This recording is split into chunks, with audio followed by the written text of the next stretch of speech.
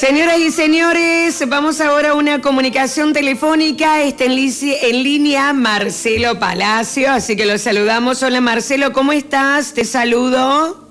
Hola Silvina, buen día, ¿cómo te va? Gracias por el llamado, gracias por siempre estar cuando te necesitamos. Y bueno, acá estamos, como te decía recién, con calor, con una mañana bien calurosa.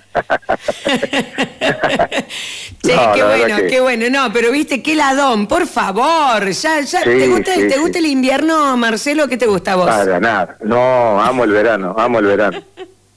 No, para nada el frío, para nada. No, ¿cómo se sufre? ¿eh? ¿Cómo se sufre, por Dios? Vos sabés que yo no lo sufro el frío, pero no me gusta estar, viste, no puedo andar muy abrigado, entonces puede pasando resfriado, mal de la garganta. Y bueno, nosotros que por ahí trabajamos con la garganta nos tenemos que cuidar un poquito, eso y a ti también. Es así, o sea que a redoblar los cuidados, las precauciones y todo eso, Marcelo. Exactamente, es, así, sufre, es se sufre. Bueno, Marcelo, para comentar un poco la situación de SOS Vida, muy, pero muy preocupados desde la Asociación Civil por algunas cuestiones que están observando. Coméntame un poco, Marcelo.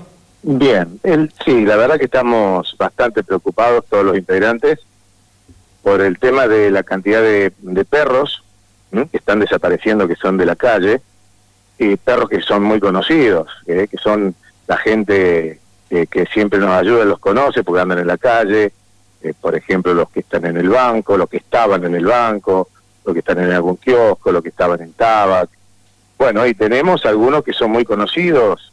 Por darte un ejemplo, la más conocida que ha desaparecido y no la podemos encontrar es la Chili, que vos capaz que también la conociste, que es la blanquita, estaba siempre en Tabac dando vuelta una blanquita con la cara manchada de negro, y estaba siempre ahí en Tabac, dormía adentro cuando hacía frío, se ponía abajo del calefactor, iba por las mesas, pero perros que no molestaban. Claro. Seguramente que hay gente, siempre digo que hay gente que le molesta cualquier tipo de animal, que me parece bárbaro, pero para eso existe la asociación SOS Vida, y no para que estamos acá trabajando, porque nosotros trabajamos a la mañana, trabajamos a la madrugada, trabajamos eh, cuando estamos comiendo. Eh, yo soy uno de los que más salgo en este momento por un tema de que yo estoy parado con mi trabajo, entonces yo soy el que más anda en la calle, o viajar a ver a Tancacho, ir a rescatar un perro, ir a buscar esto, eh, etcétera, etcétera, etcétera. Entonces, a nosotros nos pone muy mal ver que han desaparecido perros, como decía la Chili, eh, que estaba siempre, dormía en el banco, en el Banco Provincia de Córdoba, o por ejemplo, Talibán, otro de los perros que lo encontramos a 25 kilómetros de Hernando, esto hace un tiempo atrás, el que más, eh, también es que hace poquito que ha desaparecido, es el Rufo, perrito que los acompaña todo hasta el parque a caminar, vuelve, se vuelve a ir, come en la casa de la gallega, come en la casa de mi suegra, eh, come en otro kiosco por allá, o sea, son animales que son conocidos y que no son agresivos, al contrario, son perros muy, muy tranquilos, eh, corren los autos como cualquier perro, bueno, el Rufo es otro de los que está desaparecido, eh, el Oreja también había desaparecido, el Oreja le decimos Oreja porque estaba embichado, y le comió toda una oreja, bueno, nosotros lo curamos, lo llevamos, le hicimos todas las atenciones que, debía hacer, gracias a Dios apareció. Después otro que desapareció, el Rocky, que era un perro que era una vecina que vive al frente de la cooperativa acá en el barrio, acá en la calle Santa Fe. Y bueno, son animales que son que estaban ya con familia y bueno, ahí se escapaban a andar en la calle. Y van desapareciendo, como el Toby, que lo tienen allá la gente de baterías vivas. El Toby, hace dos años atrás, más o menos en febrero, desapareció el Toby con dos perros más y lo encontramos, los encontramos en Río Tercero. Yo no creo que los perros tengan ganas de dar una vueltita a Río Tercero y después volver, ¿viste? Claro, sí. Entonces hay alguien que está haciendo eh, estas cosas y entonces a nosotros nos molesta muchísimo. Nosotros no le podemos echar la culpa a nadie porque no sabemos quién es. Podemos tener indicios, yo los tengo personalmente, eso ya pasa por mí yo tengo indicios de quién pueden ser, claro, pero no tengo todas las eh, pruebas todavía. Marcelo, eh, perdóname que te interrumpa porque justamente eso estaba pensando si de repente tenían alguna sospecha, algún indicador de decir quién puede ser que le moleste los perros y hacerlos desaparecer. Exacto, indicios tenemos, pero tenemos por gente, gente amiga eh, gente común, ¿eh? no nada que ver con, ni con esa vida, ni con ningún medio, ni nada. Gente que no venía y dicho, che, he visto tal cosa en tal lado. Bueno, pero no tenemos las pruebas. O sea, yo necesito tener una prueba, que es una prueba, una foto, un videíto o algo que yo pueda inculpar a alguien. Nosotros no queremos inculpar a nadie, ojalá que los perros se hayan ido solos. Sería a nosotros sería un alivio. Claro, pero me comentaste de un perro que de tres perros que aparecieron en el río Tercero. Claro, mira, yo te cuento lo que me pasó a mí personalmente. Hace 15 días me iba por trabajo, me tenía que ir hasta eh, Pilar. Me voy, salgo de Hernando para, para el lado de Pampayasta, más o menos llegando al Aeroclub, un perro que venía con la lengua afuera, pobrecito, corriendo desesperado por el lado de Hernando. Me fijo el rufo. ¿Mm? Claro. Entonces el rufo, lo, yo no me podía me justo encontré a otros chicos de ese, vida que estaban ahí, a Olga y a su marido, a Sergio, andaban en bicicleta, y me dijeron, nosotros lo vamos a contener acá hasta que lo vengan a buscar. Lo trajimos a Rufo, a Hernando, se quedó en la casa de una señora, comió, vida normal. Volvió a desaparecer el Rufo. O sea, hay gente, hay gente que está al que le molesta a estos perros, y están, no sé si le están le están diciendo a la municipalidad, si están por su cuenta, están haciendo las cosas, la verdad no sabemos. Entonces nosotros lo que queremos es que para eso está ese Vida. Si algún animal molesta, tiene algún problema, se tiene que comunicar con cualquiera de nosotros y le vamos a tratar de solucionar el tema. El tema que de los perros que están en la calle, lo vuelvo a recalcar porque eso pasa, porque no tenemos más lugar físico donde tener más animales. Tenemos lugares caniles que hay hasta siete, ocho perros juntos. Vos te imaginás que por más sociables que sean, se desconocen en algún momento por la comida, por esto, por el lugar donde duermen. Entonces, eh, no tenemos más lugar físico. Estamos esperando lo que nos prometió la municipalidad de podernos cercar el predio que nos han dado con muchísimo placer, lo hemos recibido. Estamos esperando eso que nos habían prometido, que todavía lamentablemente no lo han podido cumplir. Seguramente que en algún momento lo van a poder hacer, entonces algunos de esos, porque no podemos tener todos los perros de la calle encerrados, no hay forma. Pero los perros que por ahí para algunas personas lo molestan o pueden ser más agresivos, lo vamos a poder contener. Pero hasta que no tengamos el predio en las condiciones que necesita un animal para vivir, no hay forma de llevar más animales al predio. Al contrario, te diría que tendríamos que largar algunos. Pero bueno, nosotros como los queremos tanto y no queremos que, que sufran ni que pasen ningún tipo de cosas, los tenemos allá, lo tenemos con una persona, un señor que los, los está atendiendo magníficamente bien pero bueno, pero tenemos este problema con los animales de la calle, estamos muy, preocupados porque esto no viene de ahora, como te vengo diciendo, esto viene de hace algún tiempo atrás, y bueno, perdón, pero que se ha potenciado ahora. Vemos que hay varios perros y aparte conocidos que son prácticamente de la ciudad. porque claro, son, un poco de todo. Porque decía, primero vos, después va a tu casa, después va a la gallega, después pasa por el, bueno, el restaurante, qué sé yo, por distintos lugares. Van, claro, eso es lo que claro, son callejeros que son de todos nosotros. Eh, entonces, eh, te repito, nosotros no es que lo tenemos en la calle y están abandonados, no.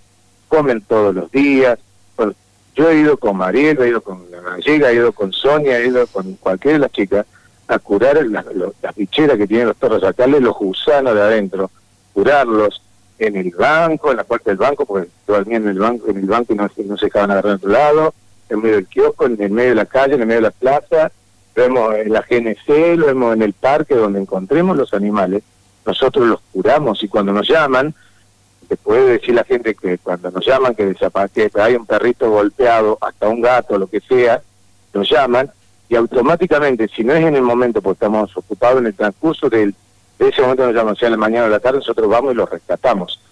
Les repito, nosotros lo hacemos porque nosotros amamos a los animales, no significa eso que todo el mundo le sienta lo mismo. Claro. hay que tener el respeto a la vida. Porque Ahora la otra vez, vida. la otra vez eh, Marcelo lo que habían denunciado desde ese Vida, que también se habían encontrado con que habían envenenado perros hace un tiempo atrás. Exactamente. También habían envenenado un montón, envenenaron claro, muchos. Claro, claro. Claro, hubo muchos casos de, animales envenenados, que bueno, el problema es después, porque hay muchos que se salvan y lamentablemente algunos no. Pero esos que se salvan después quedan con secuelas. ¿Y quién se hace cargo de esos animales? Ese ese Vida porque no conozco ninguno de que haya hecho esta locura de envenenar un animal, o a veces cuando los pisan y saben que los pisan y siguen de largo como si nada, los que nos hacemos cargo somos nosotros. y lo hacemos, te repito, porque nosotros lo llevamos adentro, eso es una vocación. Entonces, a eso es lo que le pedimos, que tengan el respeto por los animales. Y te cuento algo, yo no tengo compromiso absolutamente con nadie. Yo trabajo para SS Vida porque me gusta y porque somos un grupo de personas que no hemos roto bien el alma para hacer lo que estamos haciendo. Entonces, si yo tengo las pruebas de saber quién es lo que está haciendo estas cosas con los animales, te aseguro que no tengo ningún tipo de problema. Primero, eh, denunciarlo como corresponde a la justicia o a la policía, para que tome las medidas del caso porque es un delito. Y después, escracharlo como se merece porque lo que están haciendo está mal. Son seres vivos, los tienen en el medio del campo, que te mueran, que los piten, capaz que los matan ellos también. Entonces, ¿hasta cuándo tenemos que aguantar esto? Todo tiene un límite. Te repito, soy el primero, no me importa quién sea sea quien sea, yo lo voy a denunciar si me entero quién es. Espero que alguien pueda darme alguna prueba y no me va a temblar el pulso para ir y denunciar a quien sea. Porque es una vergüenza en el año 2020, cuando habiendo una protectora, que tenemos personalidad jurídica, que estamos todos en regla, que tenemos un montón de gente que nos ayuda, colabora con dinero, con comida, con colchones, con frazadas, con remedios la gente ha tomado muchísima conciencia en Hernando, muchísima, haga un par de delincuentes que hagan estas cosas, sea quien sea.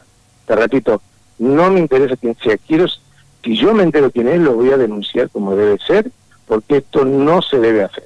Me parece entonces muy le estamos pidiendo, claro, entonces lo que estamos pidiendo a esas personas que pueden haber hecho esto, necesitamos que aparezcan los animales, porque te repito, en Chile no molestaba a nadie el Oreja apareció, el Rufo, otro perro que no me está nadie, el Rocky tiene dueño, ¿eh? el Toby está viviendo en la casa de los chicos vivas, entonces pongámonos la mano en el corazón y basta de hacer estas locuras de llevar los animales. Eh, solamente estamos pidiendo eso, que por favor la corten con este tema y si algún animal molesta, te pueden llamar a vos, Silvina, nos pueden llamar a cualquiera de nosotros. En tal lado hay un perro que está molestando, vos sabés que agarrar el teléfono y me llamaba a mí o a cualquiera de las chicas y chicos, hay un problemita con un Como siempre. nosotros vamos. Como, siempre, como ha sido siempre. Sí, sí, sí. Como ha sido siempre. Entonces, para eso te, he molestado hoy, porque la verdad que estamos todos muy, muy mal con este tema. Y bueno, Alejandra, Sonia, eh, Mariela, Graciela, eh, Mariela, Norma, Olga, Karina, yo, Sergio, todo lo que hacemos algo por los animales, estamos muy preocupados por este tema. Entonces, si no tomamos el toro por las astas, nunca vamos a solucionar este tema. Entonces, eh, lo que queremos es eso, que por favor la corten con esta locura de, llevarse los animales. Y nuevamente lo repito, si alguien tiene alguna prueba, por favor que me la haga llegar. Yo con muchísimo gusto, sea quien sea, lo voy a denunciar. Marcelo, eh, para ir cerrando, por casualidad tienen fotos de todos estos perros para poder cargarlas también a través de internet, porque a lo mejor alguien los ve desde otras ciudades y dice, mire, este perro está acá. Como vos decías recién, que hubo algunos que aparecieron en Río Tercero y tener algún, porque a veces pueden estar en otros lugares y hoy con el alcance que tenemos también a través de internet sería bueno. Sé que si tienen algunas fotos de los perros que se están buscando, te las solicito. Y las vamos a estar cargando con muchísimo gusto también. Y bueno, pedimos, nos sumamos a este pedido que están haciendo desde la Asociación Civil, si alguien tiene alguna prueba o alguien ha visto algo y quiere comunicarse para poder plantearlo, así se actúa como corresponde. ¿Sí, Marcelo? Por supuesto.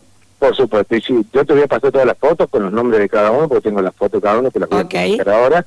Pero primero quería hablar un poco con con ustedes, con los medios que siempre están ahí al, pie del cañón con nosotros. Entonces, primero quería hablar con ustedes para que la gente más sea menos entere. Ahora les vamos a cargar en las redes sociales cada perrito, más o menos la fecha que desapareció, con foto y nombre. Me parece fantástico. Este, te lo a pasar a todo eso. Así que, y bueno, también la gente que nos pueda la mano, como también puede haber gente que lo haya visto estos perros, o que digan Marcelo o Sonia o a quien quieran llamar lo vimos por tal lado. Nosotros no, no nos cuesta nada, agarramos nuestro vehículo y lo vamos a ver si lo encontramos. Así que si alguien sabe por dónde pueden andar también estos animales ahora cuando vean las fotos, que se comuniquen con nosotros o con vos también. Yo sé que a vosotros a veces te molestamos, pero vos colabora mucho. Que te pasen a vos los datos y nosotros con gusto lo vamos a ir a buscar. Muy bien, Marcelo, te mando un abrazo, muchas gracias, esperamos que se resuelva y que se pare con todo esto. Buena estrella, Marcelo. Muchas gracias, muy amable, como siempre. Chau, chau.